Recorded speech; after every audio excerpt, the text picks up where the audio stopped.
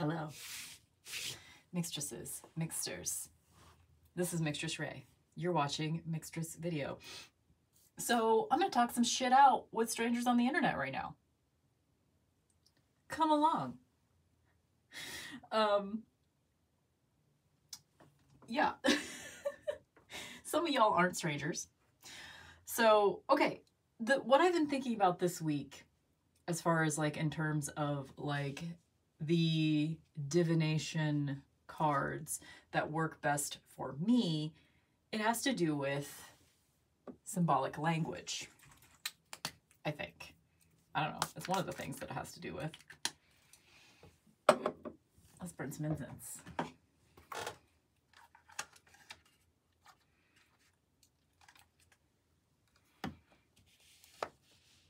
Shall we?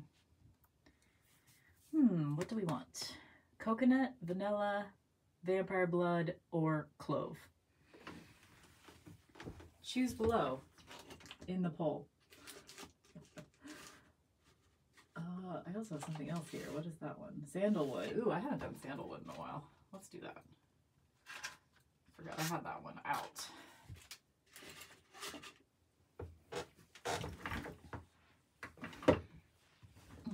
Yeah. Okay.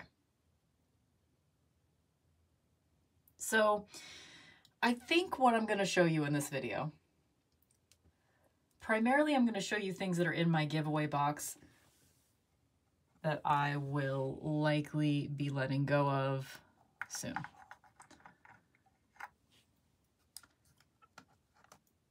So I'm going to talk about um, symbolic language. Now, I think a deck can...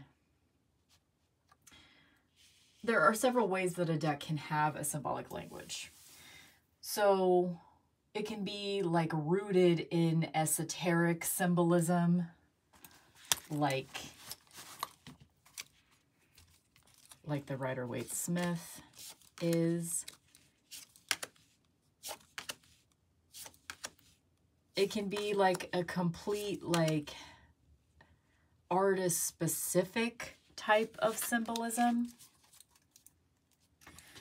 um, that they made up themselves, a world that they have created, perhaps. Um, like in the case of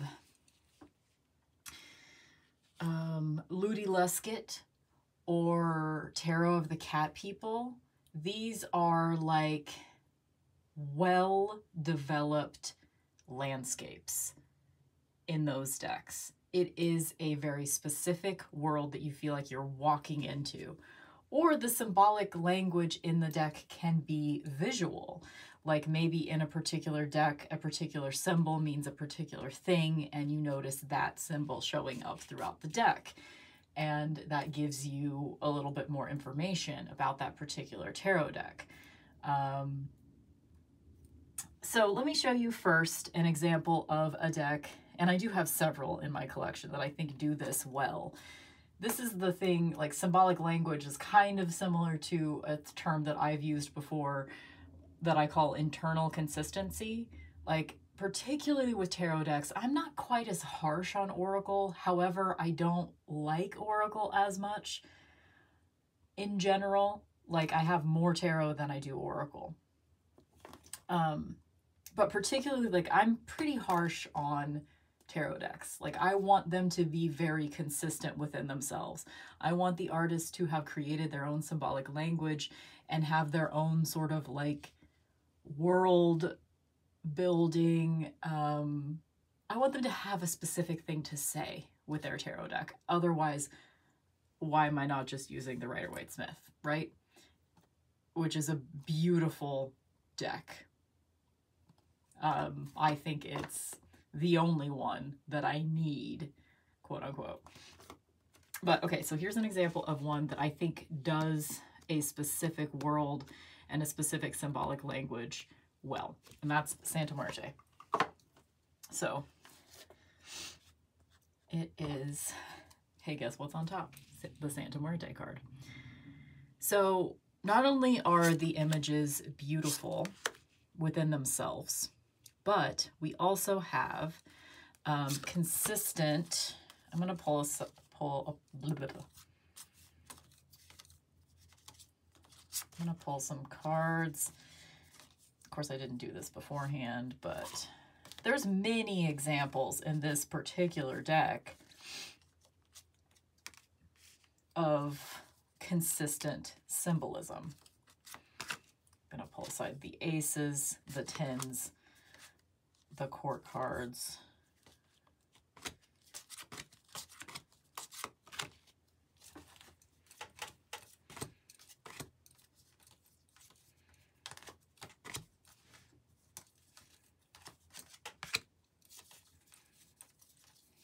Why don't I prepare? Because I'm just like not a person that prepares. I just, I don't. Never have.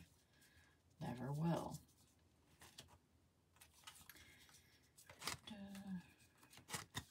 I mean, you probably get the idea without me pulling every single card, but I'm already almost done, so I might as well continue. Okay, there's all the aces. Okay. All right, so there's many, I mean, this is a consistent world. Not only does this, some decks that I feel like have consistent symbolic language, it's it's a world and it's not it's a world, but it's not necessarily like symbolic, specific symbolic language that repeats throughout the deck. But with, what is this? Oh, okay. This is just me flipping through cards. It'll be my discard pile. um, so some decks are just a world, and some decks have specific, it's almost like you're establishing a language with a tarot deck. Um, in my in my mind, if you're establishing a language and building a world, I want to feel, I don't want to be taken out of that world by a card that doesn't seem to fit the theme of the rest of the deck. I don't want to be taken out of a deck with like just pretty. You know, another, I'm not sure what I'm going to title this video, but I might call it like style versus substance because the thing that, the trap that I've fallen into over and over and over again with buying tarot and oracle decks is that I will see a deck on screen and I'll think, oh my God, that's so pretty. And then I'll buy it because it's pretty. And it turns out it doesn't actually have any more substance than it's pretty. So there's a deck that's in my like discard box, giveaway box, whatever you want to call that.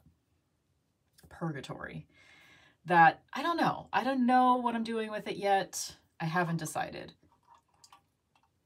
but it's one that I think does not have a symbolic language despite it at first looking like it does. We'll get there. But this deck, I think, not only creates a consistent world, this is the world of Santa Muerte. This is the world of Day of the Dead. This is a Hispanic deck. This is a world that like I'm not a part of because I'm just a white girl, but I get to visit it. And it also has a symbolic language that is specific to the deck itself. So let me put, organize my piles and just go one at a time here with, okay, so the aces. This is something that I've talked about before that I, I find to be important, or not, maybe not necessarily important, but it's important to me. Something that's important to me is I like it when the aces have a relationship to each other, which this deck clearly does. And we even go so far as to, I'll show the court cards next. So let's, let me put them into their categories here real quick.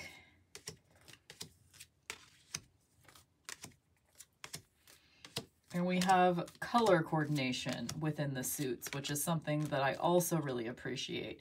You know, most of the wands are going to be, there's a lot of reds. Most, and in the background of the court cards of the wands, we have this pink background.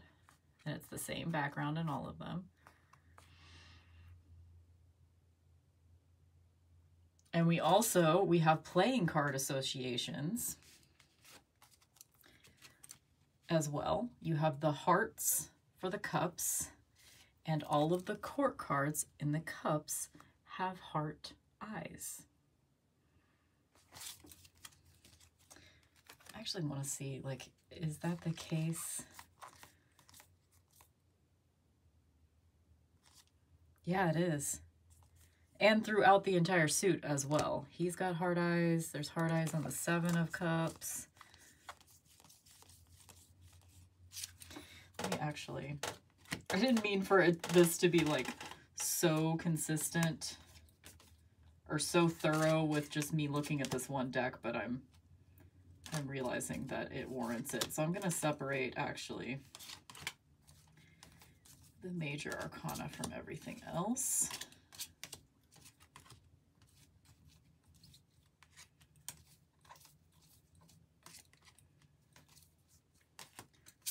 So, and this is obviously like something that like may not be important to others, but this sort of like symbolic language, internal consistency, style versus substance, like for some people, it may be that your first impressions of a deck stay your stay what how you feel about it forever. That's not the case with me. Whenever I see a tarot deck that is pretty online and maybe the first time I open it up, I'm awed by its beauty, that is not necessarily a good indicator on whether or not I'm going to love it. Okay, um, swords. So all the sword, sword core cards have this yellow background. Um, honestly, it's not very different than the Pentacles. I wish the color differentiation was a little bit starker, but that's like one of the only complaints I have with the symbolic language specifically of this particular deck. And I've had this one for um, four years. Five? Four. Four and a half. Okay, so there's that. And then we have diamond eyes and green backgrounds. It actually looks a little bit better on camera, but it doesn't, like as far as the different colors, it looks more green on camera than it does in person. And this is a well thought out tarot deck. Um, oh yeah, I want to show you the tens. And I think I've showed, I mean, I've shown this deck on my channel a lot because I've had it for four years. Like I've already pointed out some of these things, but um, I guess this, this video might be titled like style versus substance, internal consistency, symbolic language featuring Santa Muerte, but I'm going to be talking about other decks too. I have a whole pile. This is going to be a deck parade video, which is everybody's favorite. So cool. Maybe I'll get some views. Um, Another thing that I love about this deck that is a symbolic language that is specific to this deck, we have these moths um, and butterflies. I think these, these, well, this one's like more of a moth body. This one looks a little bit more like a butterfly, but anyway, whatever. Moths, butterflies. And we have like the hip bones here for the wands, you know, sort of sacral chakra, right? Is that the one? Rib cage for heart, cups, skulls for head, swords, mind, and then feet for pentacles. How fucking cool is that? I mean, it's so fucking cool. Like, I wish more decks did this kind of thing where they thought it through. Like, what is the story of this tarot deck? I mean, you can get lost in the world of this tarot deck and you're not gonna suddenly come upon a card that doesn't make sense, you know? It is consistent.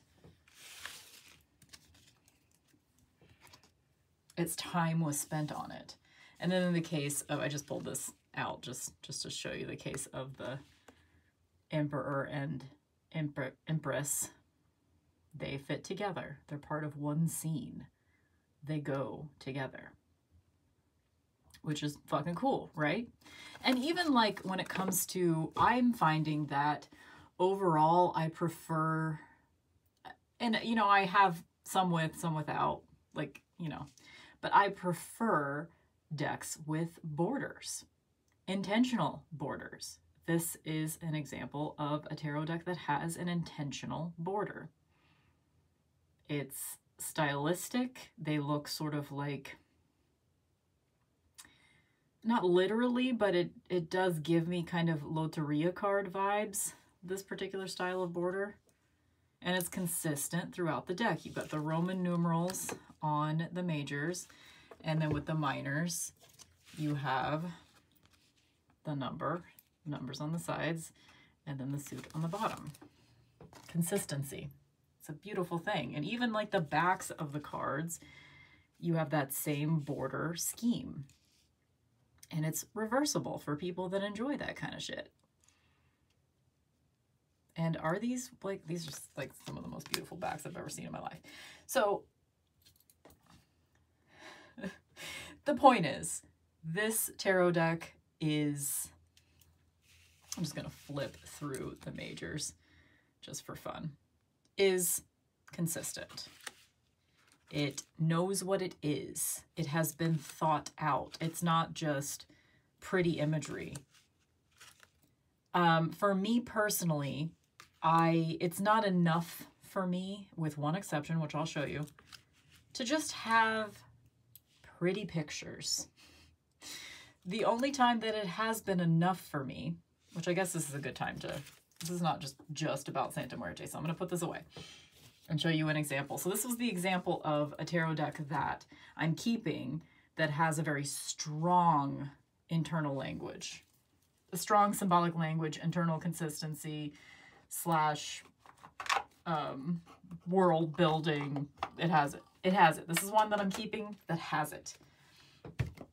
One that I'm keeping that doesn't have it is Moonchild. And the reason why I think this one is an exception for me, because, okay, so here's, here's what I mean by this. Okay, are we in order? Oh my God, we are. Okay, which means I haven't used it since I did that unfair comparison. I guess that was only like a month ago that I did. Well, I thought I was going to do an unfair comparisons between this and Goddess of Love, but then I didn't. That's what happened. So this is, I mean, like, I think the reason why this one is an exception for me, it does have some symbolic language, actually, which is just sort of a carbon copy of Rider Waite Smith, right? There is some symbolic language, but it's card by card, you know? and it's not always that consistent. Like we we have the two pillars with the Hierophant here. We have a chariot. We have a lion on the strength card. So it's it's not terribly consistent. Like some of the themes are consistent. Like the color scheme is consistent with this deck. The um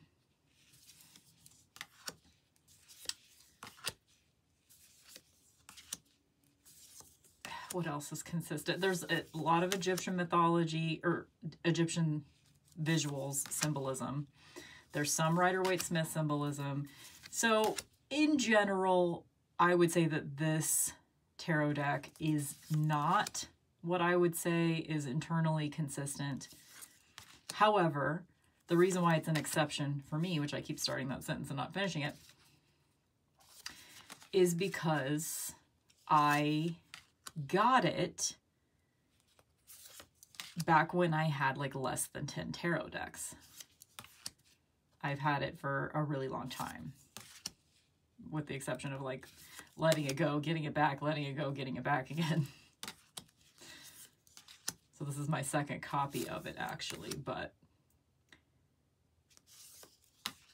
it works for me because I spent a lot of time with it and I made it work for me. I created my own love of it that is, like, to be honest, pretty rooted in surface level aesthetics.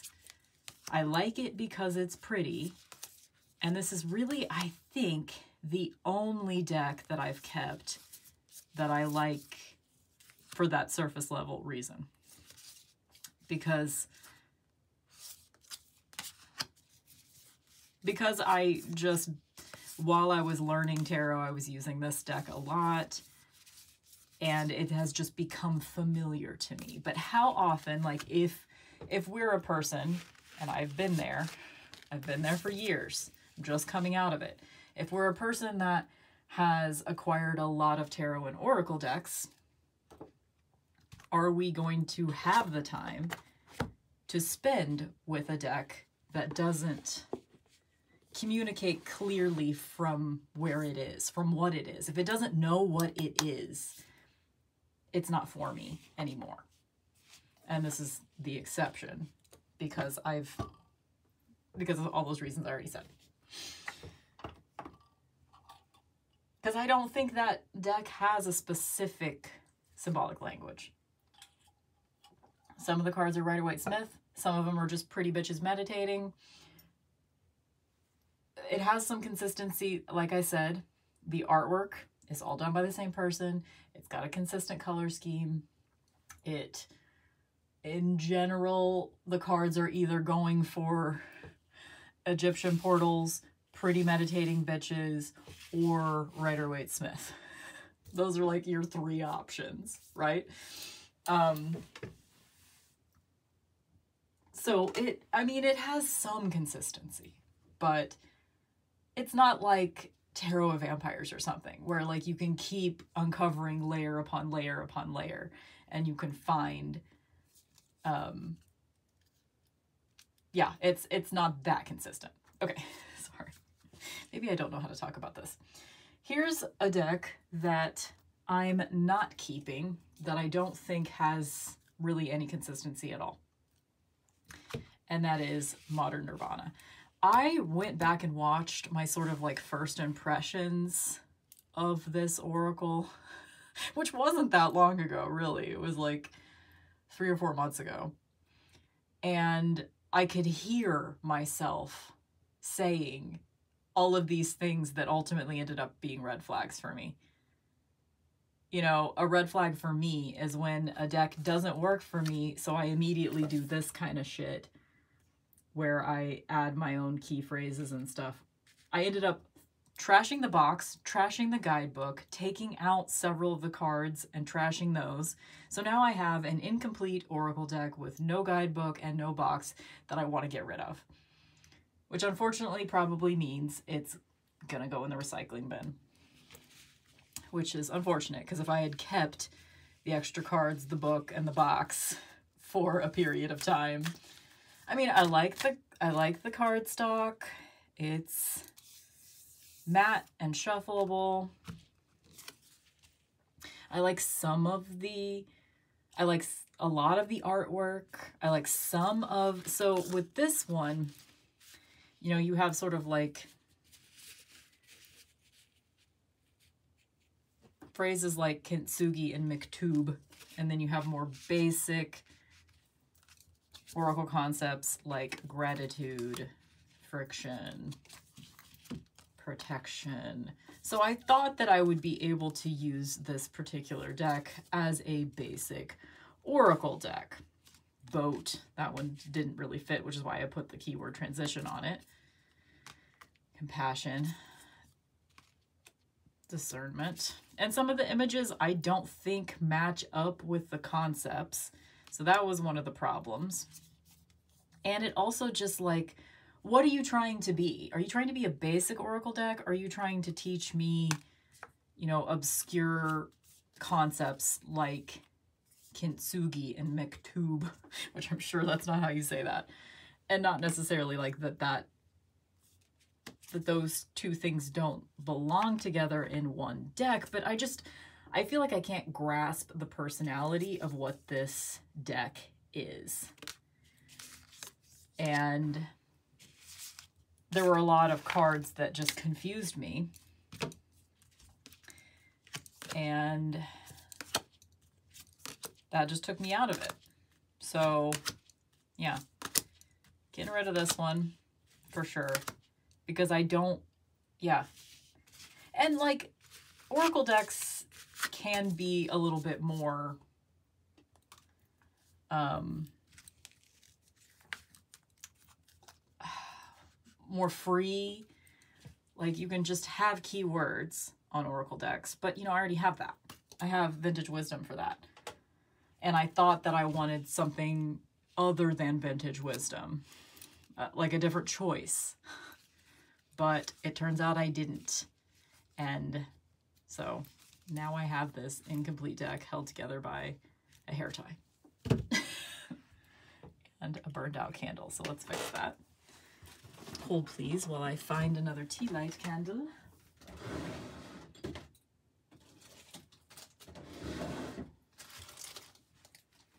So I really didn't necessarily need to show that one, except that I wanted to like give an update.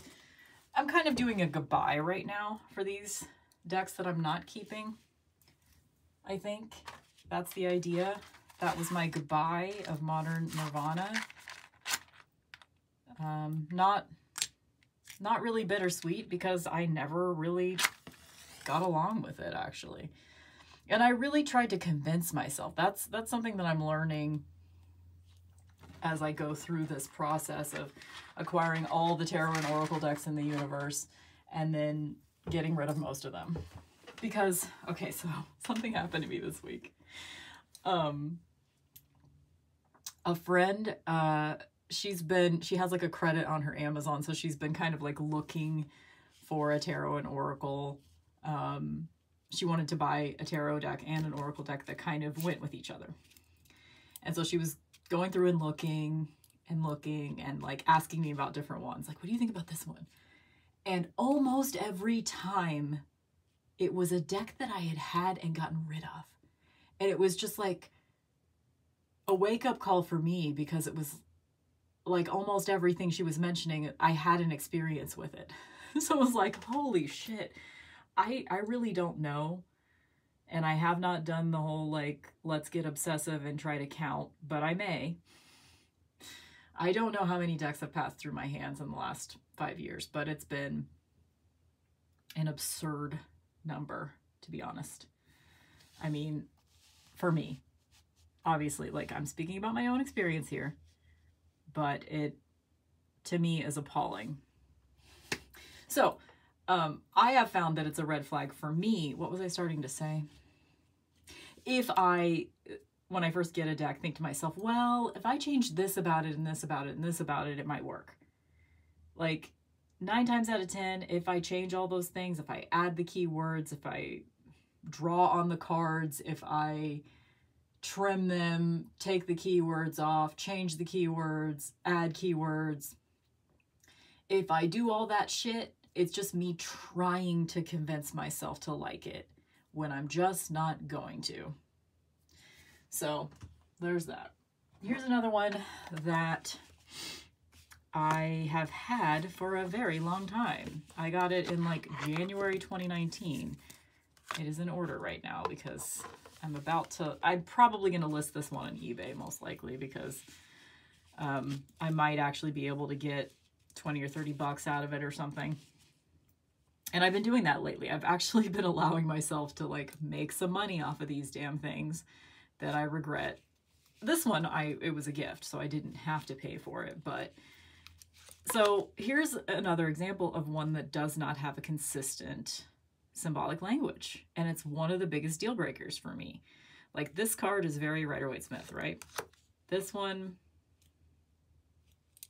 I mean, I get it, I guess. No, this is just a pretty bitch wearing some wearing some Venus earrings. That's all. This is just a pretty bitch wearing a crown. Like it's yeah, it's not consistent. I love this though.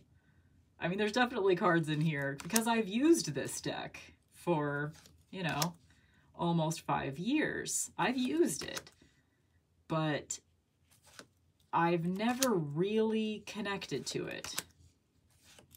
Besides just like, and there's some cards in here that are just straight up knockoffs of Rider-Waite-Smith, like this one.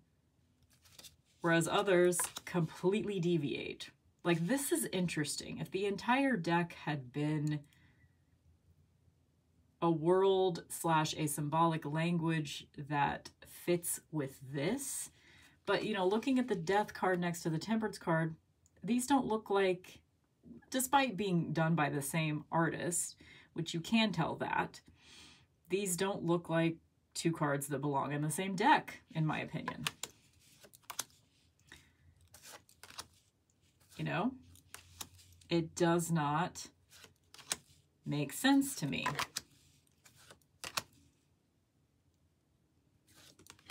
That being said, it does have aces that go together because they're all Rider-Waite-Smith aces.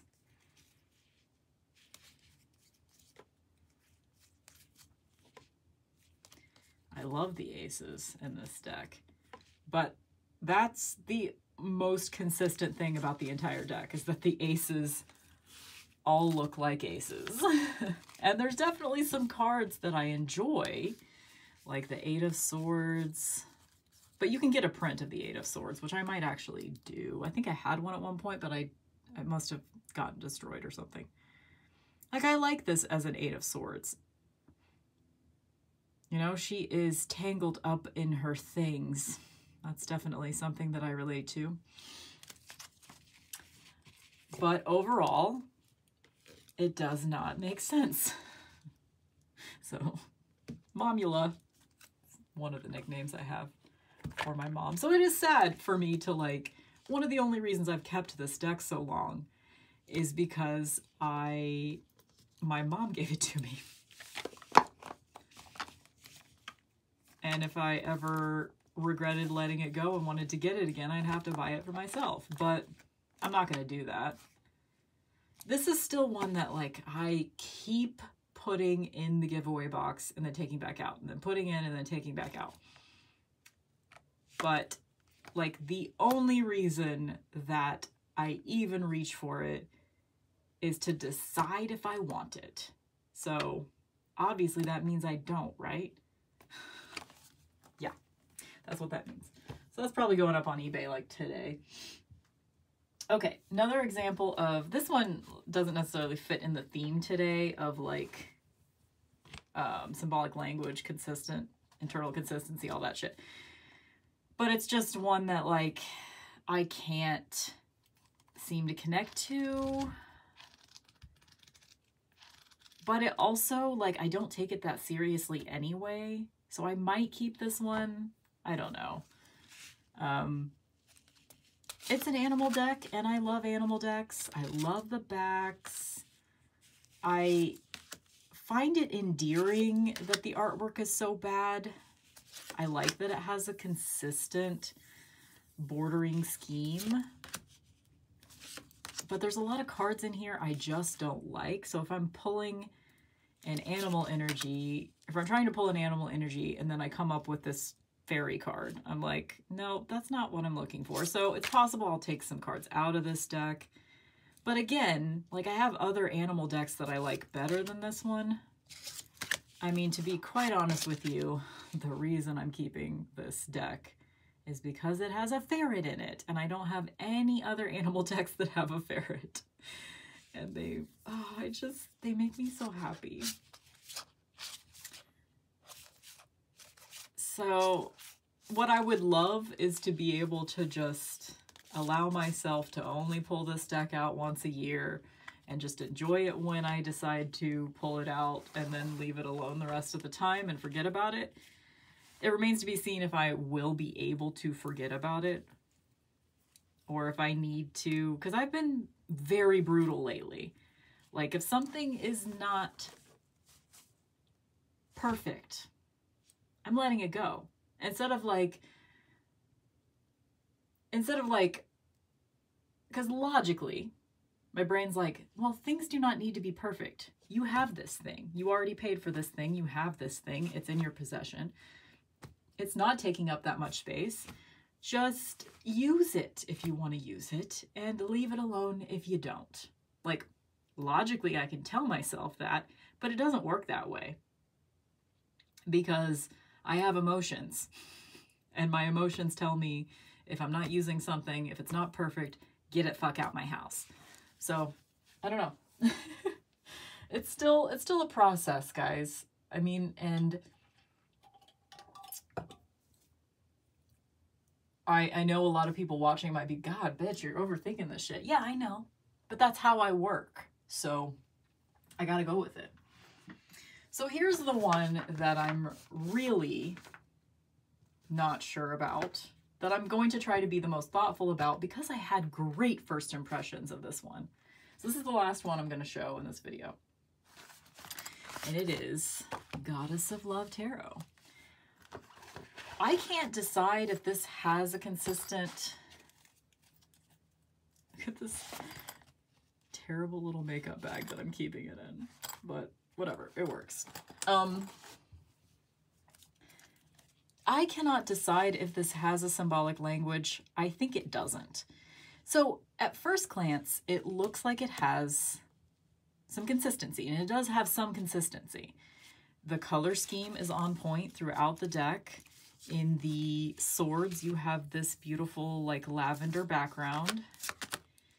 Every uh, major arcana card is associated with a goddess. The cups all have this swirly water background. The wands all have this pink background, which is not very different from the swords, but it's slightly different. What have we not seen yet? We haven't seen pentacles all have this gorgeous green.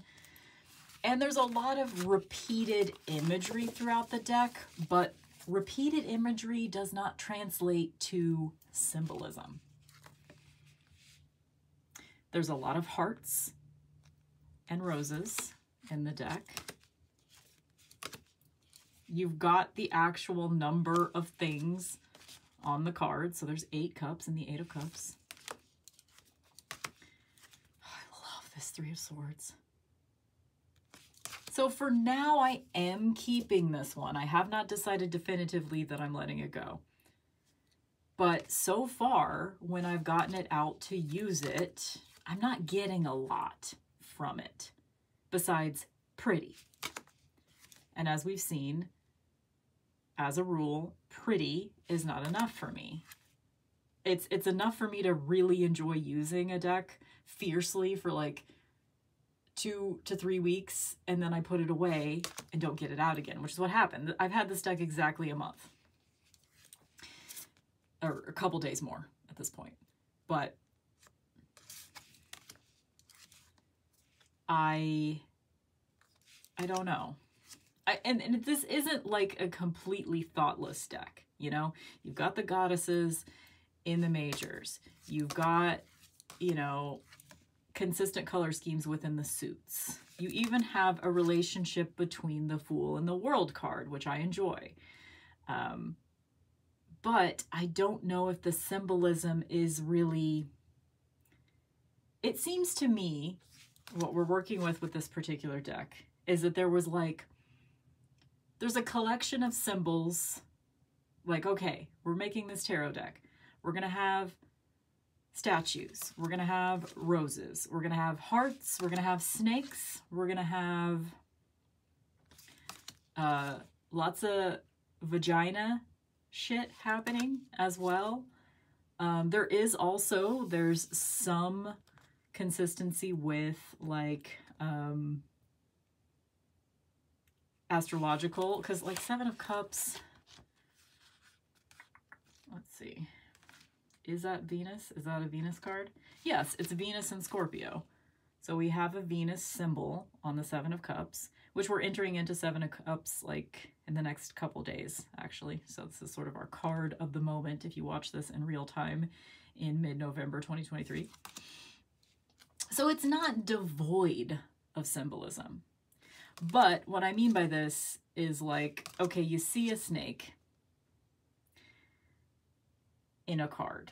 Does this snake mean more than this is just one of the main symbols in this deck? Does it mean something for this particular card? And some of the time I think it does make sense and some of the time I don't. So I don't know. I'm definitely undecided about this one because I was, I mean, if you guys saw my video where I was comparing this to Tantric Dakini, you would see that I was just flabbergasted by the beauty. And that is what we're seeing so often.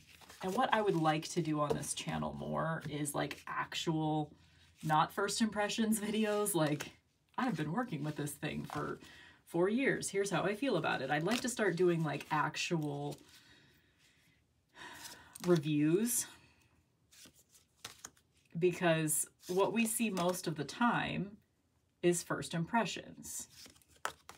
Because there's just so much out there, and so many of us are caught whether we are enjoying it or not. I'm not trying to tell you that you're doing, you know, bad things for yourself or not. Like, only you can decide that.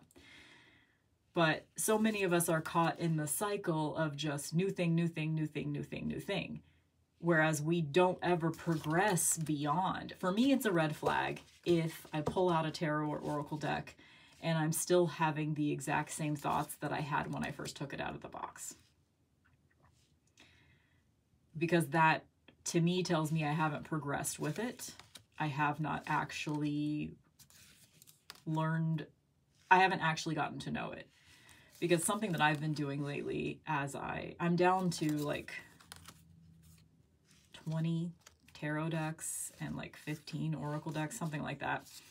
Um, quite small. Like my collection is smaller than it's been since early 2020 right now.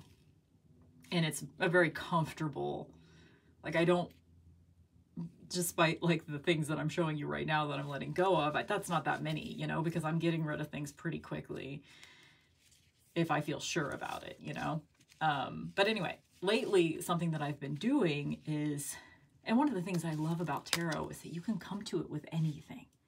You can come to tarot with any fucking question. And I mean, most of the time, sometimes I'll have a deck that's like, does not want to come to me for, there are some things that it's like, I will not talk to you about this, fuck off. But most of the time, most tarot decks are really open and they will talk to you about anything. And so I've been getting to know my tarot decks in a different way lately. I've just been getting them out and kind of like feeling out their personalities and like conversing with them and like, how are you? What has your life been like? You know, I, I, uh, I asked some questions of my Pink onk University Press Rider Waite Smith that's been around since the 60s. My copy's been around since the 60s. And I like pulled a card for each decade. Like, what has your life been like? I pulled a card for 60s, 70s, 80s, 90s, you know, all the way through up till now. And I got like a timeline of the experience of that deck, you know? And it's so fun. You know, tarot is fun. And for me, it hasn't been fun for a while because my life has just been here's a new thing. Do I like it? I don't know. Here's a new thing. Do I like it? I don't know. And I am sort of at this point in time feeling a bit distrustful of novelty. And I don't know if this, because this is my most recent tarot deck acquisition. Um, it's the only one that I have gotten in a few months, I think. I could be forgetting something, but I'm pretty sure this is my only new one. And I just, I don't know if I need it, you know? Because it is supposed to speak of sexuality, right? It's This is supposed to be a deck about love and sexuality. And I mean, it definitely has sexual imagery. But like, okay, let's do, let's just do like a sample reading right now and see, see if it speaks to me. Because that's the problem too, is that I haven't done a pick a pile reading in a long time. And sometimes that's how I know if I like a deck, is when I use it in a pick a pile reading. let's just do a mini collective reading right now. And we can talk to this deck about anything. So let's talk to it about novelty. What's up with novelty? And here's the thing too, is like this sort of concept of internal consistency and like symbolic language and blah, blah, blah, blah, blah. Like for me, if, if I just feel confused looking at the symbolism in a deck, or if I feel like it's not consistent, blah, blah, blah. If I feel confused, trying to synthesize a reading together, then what is the point? You know? What is the point? And that's what happened to me this week. I got this deck out to use as my like primary deck, and I was trying to do like little readings with it, have little conversations with Goddess of Love Tarot, and I was getting like nothing from her except, oh, I like that image, or I don't like that image. It was all surface level. So that's why it went into the box.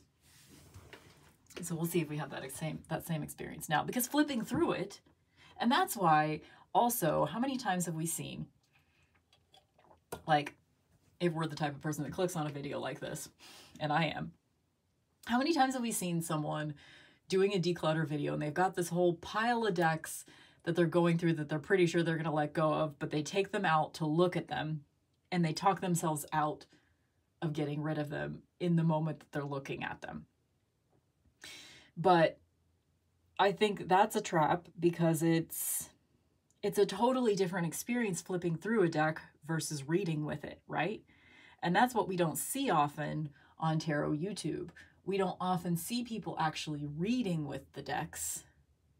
And in my experience, if I've ever been watching like a pick a pile reading or collective reading or something like that, when I've seen a deck being used in a reading, if I decide that I want that deck for myself and I go out and buy it, I have a better track record with actually liking it versus. Are we still. Did we go out? Oh, I actually just burned a whole stick of incense. That's what happened. Believe it's been that long that we've been talking. I guess it has been 45 minutes. Anyway, like it's completely different. Like most of the time, all we're seeing is people flipping through decks and we're seeing pretty. But something has to be more than pretty, it has to work. For me, whenever, uh, for me, like the, in my opinion, the trend of tarot and oracle decks is becoming more about here's an artist's work put into a tarot format. Like, great. There's so many of those, though. So, how can we go deeper? And I find that I don't actually have that many tarot decks that I can go that continue to uncover things for me, you know? The symbolism has to be very well thought out for it to be something that I can continue to unveil, continue to dig deeper into the layers of. Um, I don't know if that makes sense. But anyway, let's do our little reading. We have Two of Pentacles, Five of Cups, and Hermit.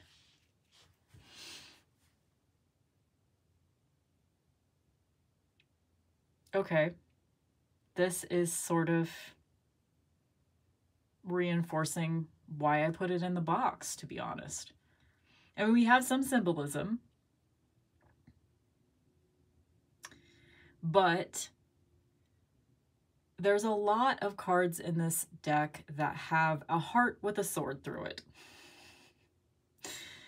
And so, of course, when you see a heart with some swords, you think of Three of Swords, right? So, that for me is kind of like it bugs me because at first glance I'll be like, okay, Three of Swords. Nope, that's not Three of Swords. That's not Three of Swords. I mean, I get it. Five of Cups is, can be about grief. You can be kind of brokenhearted, but why do we have a sword and a cups card? You could have still had the heart with, like, you know, some of these cups flipped over, maybe. I mean, obviously, you might be thinking, wow, this bitch is being real nitpicky, but we we are able to do that now. We are able to be extremely nitpicky because there's thousands of options out there. So if something's not working, because I'm not synthesizing a reading together quickly with this because I'm distracted by that. That's not the Three of Swords.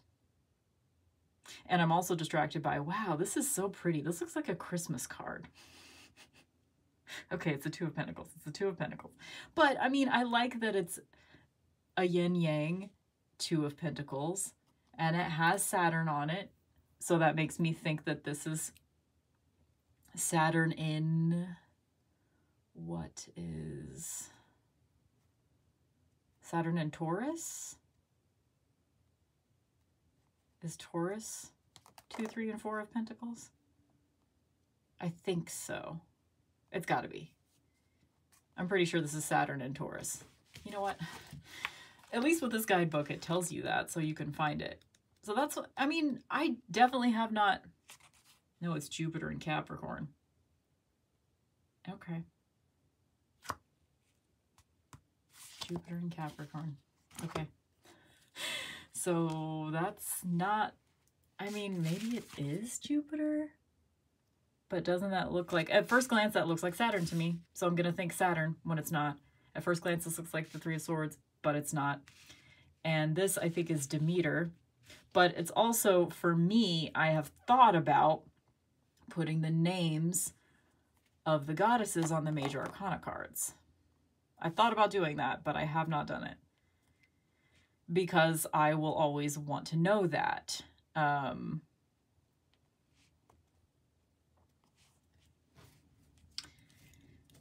so yeah, it does feel like it doesn't read well to me. Okay, let's let's pull other cards. Okay, we got Four of Cups, Eight of Cups, and this is Persephone, I think. So it's funny, we just got Demeter and then Persephone. I mean, the Eight of Cups makes sense to me. We got eight cups, she's walking away. You know? Love to see you go. Look at that ass. And the Four of Cups, uh, no, we just got a chick luxuriating underneath four cups. Like, that doesn't make sense to me. And this, particular image as a justice card. Like this person looks like she's, I mean, she's Persephone too, right? Isn't she? Okay, this is just confusion with Mixtress. Watching her try to figure out what the fuck's going on in a tarot deck she doesn't know if she's going to keep. Yes, it is Persephone. So she's being dragged down into hell right now. Like, Okay, so first of all, I'm not the person to consult about Greek mythology because I don't know shit. But I don't enjoy the Persephone story. The idea that, like, she begrudgingly decided to marry this dude and, like, the whole earth is sad for six months because she's underground with this.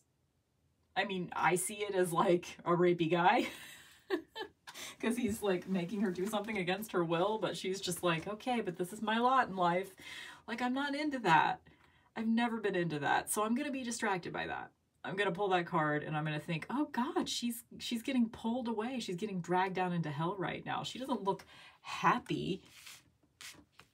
She doesn't look happy at all. She looks upset and she's being manhandled.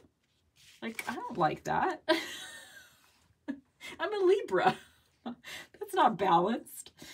Um, and this lover's card kind of bugs me too, because it's like, why do we have two cups? Because it makes me think of either a star card or temperance, right? So I think, and does that mean I'm just too rigid in my RWS symbolism? And if I am, fine. Like, I don't have to see cards in a different way. I think we're trying, we're spending a lot of time, and by we, I mean like people that collect too many tarot and oracle decks. and maybe I shouldn't say too many. People that collect tarot and oracle decks, whether they find it to be too many or not. People that collect tarot and oracle decks are, you know, we're spending a lot of time trying to justify our purchases and um, trying to convince ourselves that we like things. when I have found, since I've been doing a lot of extreme decluttering this year, I have found that those things that you can't decide what to do with that you think you might want to let go of, nine times out of 10, if you let go of them actually, you're like, oh, good. You feel that weight lifting, and you're just like, that all of that agony, that time spent trying to decide, like trying to convince yourself to like something or trying to find ways to make it work for you. If you just get rid of the damn thing, you can move on with your life because life is too fucking short to spend time with things that you're not enjoying. And again, like all I'm saying all these things in front of this tarot deck, but I don't know actually how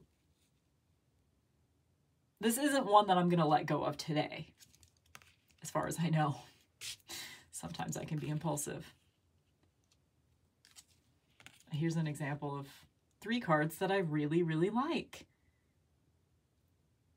But that's the thing, right? If there's so many options, you don't have to stick with something that you only kind of like.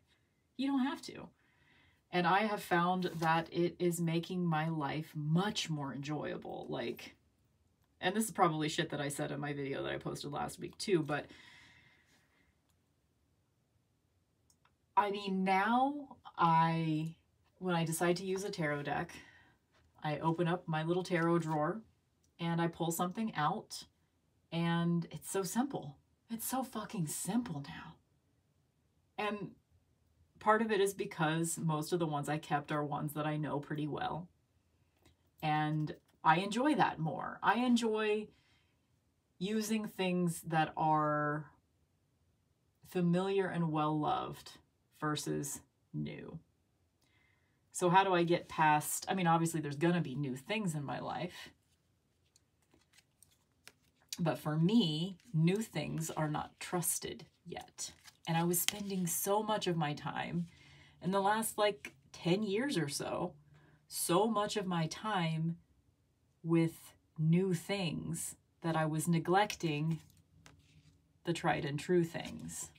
And I don't want to neglect my tried and true things anymore. Lately, I've been wearing my favorite perfume of all time, which I haven't been wearing much at all in several years. And it's not because I moved past it, because I didn't it was because I was treating it as it was as if it was precious. I wasn't enjoying. I have not been spending a lot of time enjoying the things that I actually love. And the thing that people don't talk about often, but I do hear it mentioned sometimes. But the thing that like has been really true for me is spending time trying to pick out new tarot and oracle decks or trying to decide if I like new tarot and oracle decks. And when there's a constant influx of new, new, new, new, new, it means that you're neglecting the tried and true. And it means I was spending less time with the things that I truly love. I was neglecting the things that I truly love. And lately I've been coming back to them. And it's it's been really great for me anyway. I would much rather hang out with 10 beloved tarot decks than hang out with what a hundred that I sort of know but not really. You know? That's just where I'm at. I don't know if any of this made any sense. It did not. I don't think I'm left with an actual decision about this. The hard truth is, if I was still in the return window, because I got this one on Amazon, if I was still in the return window, I would return it and just let it go. But I'm not. So, and it was it was cheap. It was cheap it's beautiful. It does have a symbolic language, I think. But I'm just not sure it actually speaks to me. Because when I look at the cards together, there are things that are distracting to me. This one actually is Saturn. So that's cool. Um, I'm right now trying to learn the astrology in the, I'm trying to memorize the astrology in the minor arcana cards. Nine of Cups is Pisces, but what's the planet? And so sometimes the planet is there and sometimes it's not. So that bugs me. Yeah, I don't know. This probably is going to have to go.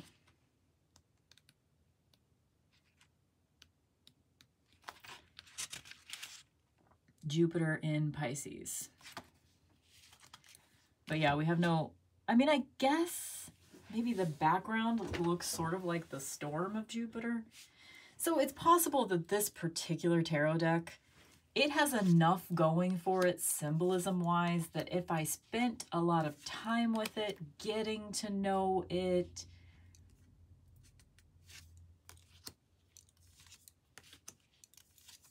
I don't think it's useless, you know? It's cheap, it's accessible. I will say, like, if I didn't bitch about this in my initial video, which I probably did, but what the fuck, guys? The crones are not crones. Which I guess makes sense because the creators of this deck, I don't know for sure, but they look like they're in their 20s to me. So, and that's another thing too. Like, at this point, the tarot and oracle market is so saturated, so fast paced that we're not, most of the time, obviously there's exceptions, but we're not most of the time getting decks that have been well thought out because the time that has been spent on them has been,